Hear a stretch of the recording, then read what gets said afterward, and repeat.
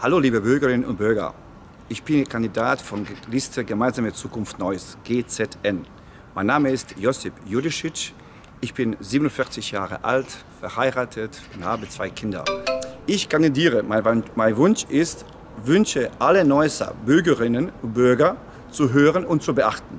Vor allem die Toleranz und Verständnis füreinander und miteinander. Ich bin der Ansicht, dass ich die Arbeit durch GZN, durch meine langjährige Erfahrung in der Kommunikation, meine positive Lebenseinstellung und meine Zielstrebigkeit unterstützen kann.